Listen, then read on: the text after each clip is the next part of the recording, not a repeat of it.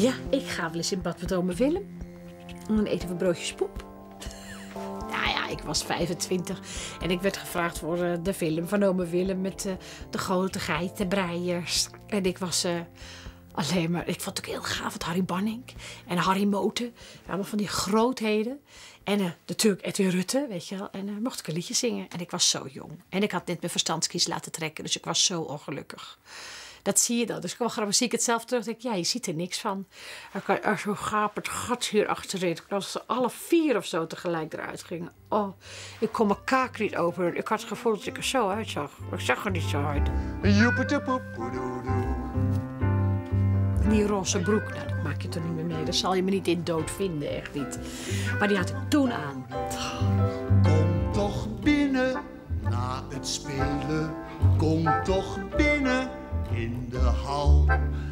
Dat je vuil bent van het spelen. Dat je vuil bent, zie ik al. Roepetetoetoedoedoe. Geef je trui eens om te wassen. Als die uit is, ook de rest.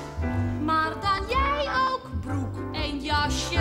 Goed, dan ik ook, dat is best. Joepetepoepoedoedoe.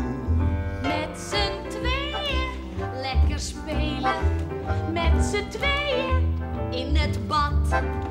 Ik heb een eentje dat kan zwemmen. In zijn eentje zie je dat. Nee, maar weet je, als mijn kinderen dat zien, ze herkennen mij amper. Ik ben 25 of 24. Dus ze denken alleen maar, is dat mama? Dat is een heel raar gezicht. En die vinden het natuurlijk wel heel stoer. Die mijn kinderen vinden het sowieso heel goed als ik met Jamai optreed. En met Gerrit Joling optreed. en met ome Willem, dat is het eigenlijk wel. Gaan we echt zo lekker plassen? Gaan we echt zo helemaal bloot? Ben je gek, dan zie je mijn plasser. Ben je gek, ik schaam me dood. Als mijn dochters ergens trots op zijn, is dat ik de stem heb nagedubt van Mrs. Weasley, oftewel mevrouw Wemel. Want mijn dochters zijn nu in de Harry Potter fase. Nou, je kan ze echt... Mama! En dan denk je, ah, heb ik het toch nog ergens goed gedaan.